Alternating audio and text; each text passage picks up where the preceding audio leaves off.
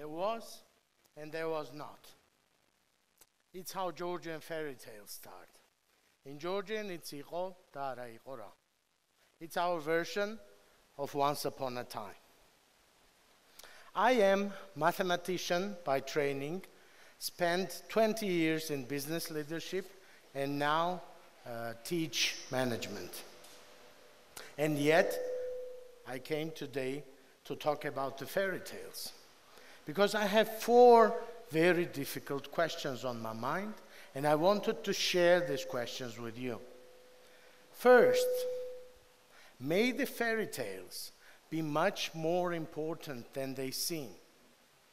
Second, may the fairy tales affect all aspects of our lives, like family, education, business, even politics and economy. Then the third question would be do we need to change our fairy tales? And finally, the ultimate question is can such change help us for our own fairy tale to have a very happy end? Organizers have told me that there are around 300 people in this room.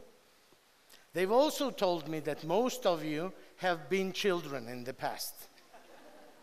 Is this true? Have you been children? Do you remember?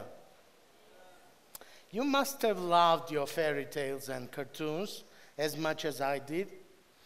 There was one favorite cartoon of mine. It was called Watermelon. Most of you remember it. I loved it. The story has two main characters. One, lazy, drunk, sleeping, fat winemaker, and another one, happy, fit, singing, wealthy watermelon farmer.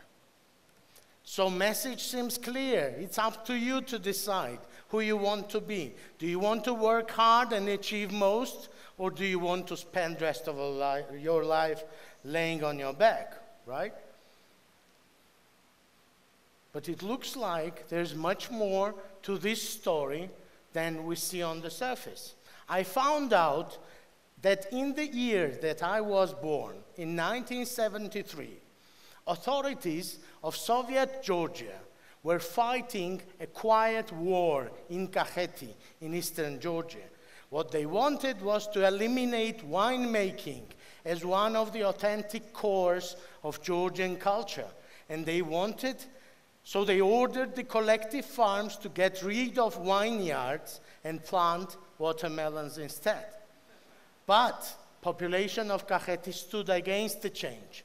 So authorities had to stop pushing and had to find other way.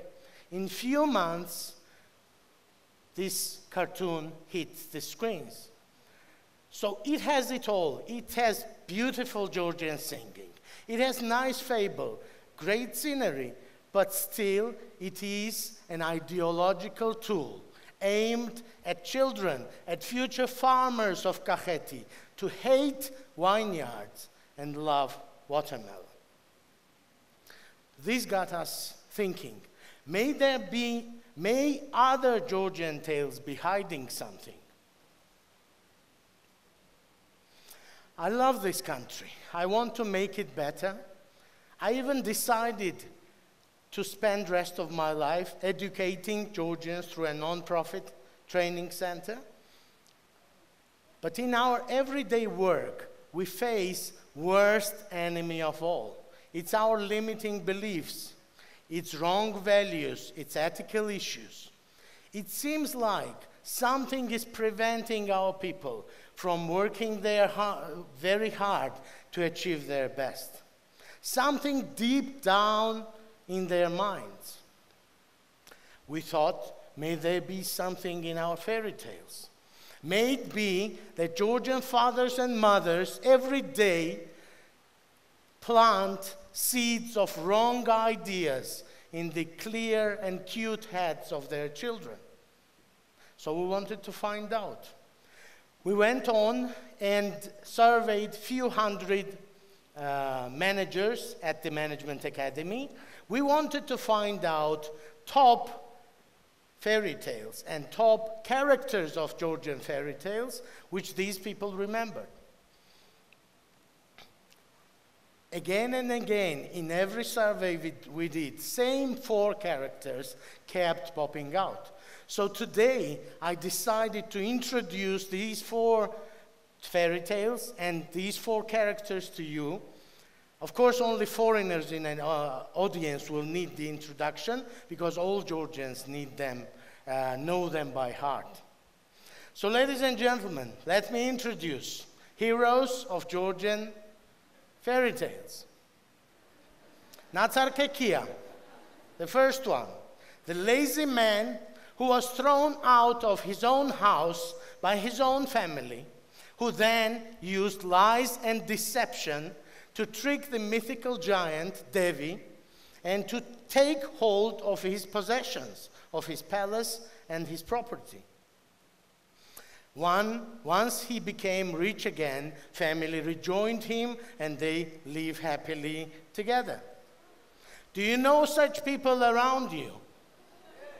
Do you know the lazy people who try to build their lives, their careers on lies and deception? Do you know people who try to steal somebody else's property? Unfortunately, I do. In other introduction is Komble, the shepherd with only three sheep, not 30 or 100, just three. And he spends every day of his life cutting the shepherd crooks, the wooden fighting instrument used by shepherds, and he's stalking the shepherd crooks. And one day, one of his three sheep disappeared, and that's when Komble needs all his armament. He goes out to the wood, finds the wolf that ate its sheep, kills it, and returns the sheep home. The story ends with great news that he still has three sheep. But nobody dares to mess with them. Do you know these people? Do you know people who, instead of working hard to multiply their flock, are spending their lives fighting with others, trying to protect their honor, trying to protect their property? Unfortunately, I do. Another important character is a mythical bull, Tsikara, who helps his young friend escape from an angry stepmother. As they are running from the chase throughout the story, magical things happen. Sea appears from the mirror. Forest appears from the hair comb. The boy does nothing apart from listening to his friend and doing what he says. Do you know these guys? Do you know people who choose to solely depend on others? Do you know people for, who wait for the miracle to save them? Have you heard that NATO will save us? Have you heard that all economic problems are caused by one man? Have you heard that the other man will solve them all? Right? That's all from here. Unfortunately, I have heard a lot of it. Next ones are friends, the ant and the flea, who decide to go somewhere and they come across the ditch. And they have to jump. So flea jumps over and ant apparently miscalculates own capabilities, tries to jump, and falls into the ditch. That's when it's up to Flea to save his troubled friend. So he starts going to the forest. And that's the most interesting part. Nothing in the whole wide wood helps him for free. Nothing, nor a tree, nor an animal, does anything without asking for something in return. Do you know the ants who jump before they think? Do you know the forest which doesn't help anyone for free? Unfortunately, I do. This whole thing looks overly familiar to what happens around me, to the bad things that happen around me, look much familiar to these fairy tales. It may look very pessimistic. My view may look very pessimistic. Of course, I do see positive side of Georgian fairy tales. Of course, I do see friendship and commitment and love and care, right? But we may need to concentrate on overcoming negative aspects to achieve growth and prosperity. I thought a lot about how to complete this talk, about how, what the calls for action could be. And I came out with four calls. One is to Georgian parents please think before telling the fairy tales to your children.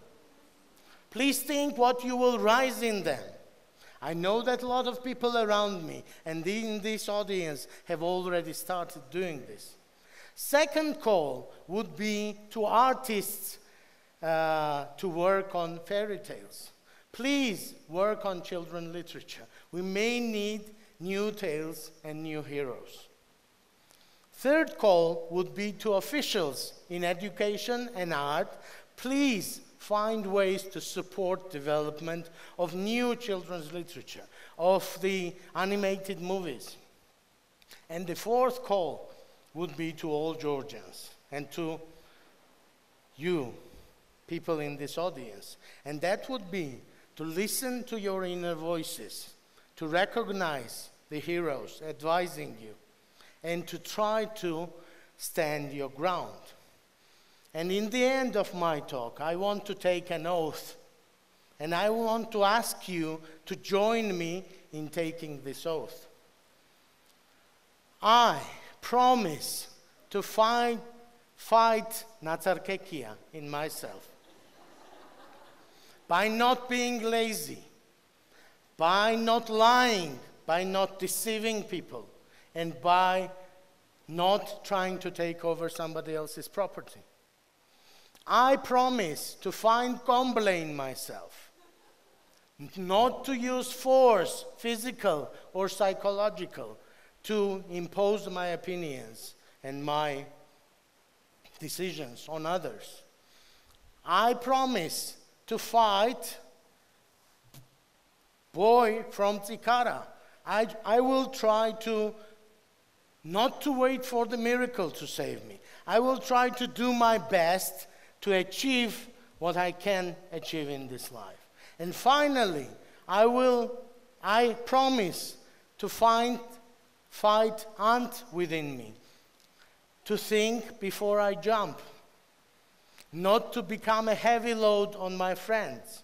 And I promise to fight the wood by helping people in need, by uh, giving back to the community. And that's exactly, by the way, what we saw eh, during the last week. And if this all happens, my friends, if we make it true, then, we, then the miracle will, ha- will happen. And we will magically wake up one day in the country that we all want and deserve. And I want to leave you today with standard ending of a Georgian fairy tale. Katoika, Quiliaka, Chirika, Chiniaka. Thank you.